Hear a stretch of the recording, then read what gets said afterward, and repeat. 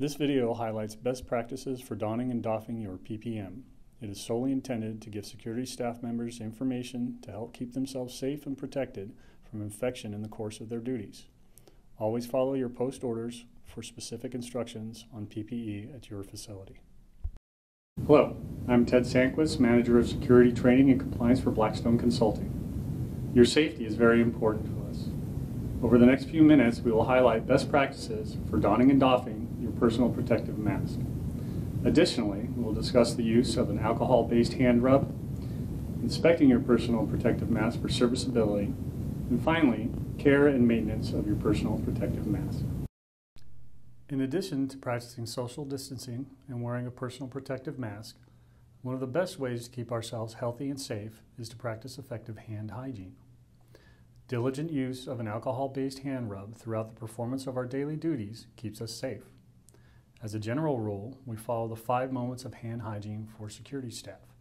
These are before you enter the care environment, before donning protective gloves to touch a patient or their belongings, after any exposure to blood or bodily fluids, after doffing protective gloves, and after exiting the patient's care environment.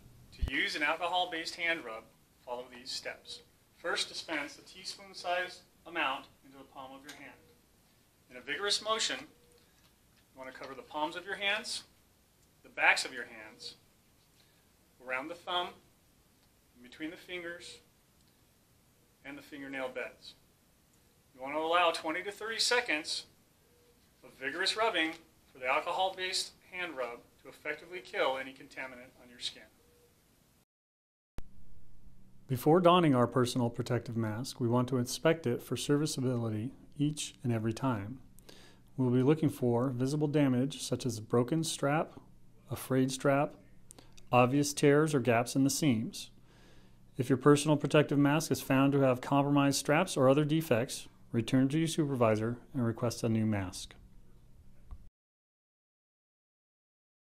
To don your mask, ensure the mask fits on the bridge of your nose, below your chin, and that the straps are fully seated behind your ears. Once you have donned your mask, there are a few key comfort considerations. Ensure the mask is seated on the bridge of your nose and below your chin. Ensure that the side straps are positioned at the base of your earlobes.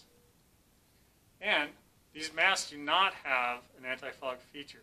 So if you wear eyeglasses, you may consider using an anti-fog spray or wipe.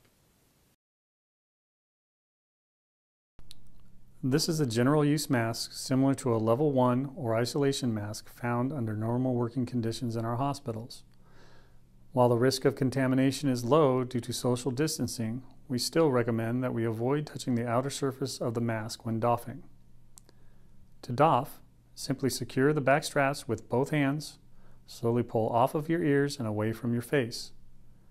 We recommend placing the mask in a resealable plastic bag similar to a Ziploc bag for storage after use.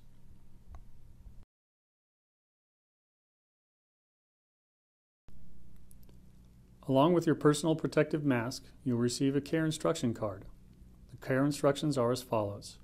Before initial use, your mask should be washed to remove any machine and handling residue. Care option 1. Hand washing with very hot water and ordinary dishwashing soap that does not contain lotion or moisturizers. Pour very hot water and dishwashing soap into a bucket and immerse the mask. If heavily soiled, consider adding an oxygen cleaner such as OxiClean. Agitate the mask, soak, and rinse thoroughly with clean water, and allow to air dry. Care option 2. Machine wash in hot water using laundry soap that does not contain fabric softeners. Air dry or machine dry on a warm cycle. If machine drying, consider using a mesh bag to prevent damage to the elastic straps.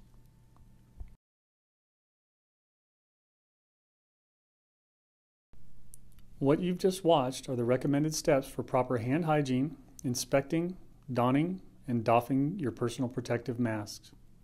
These steps should be performed each and every time you deploy your mask.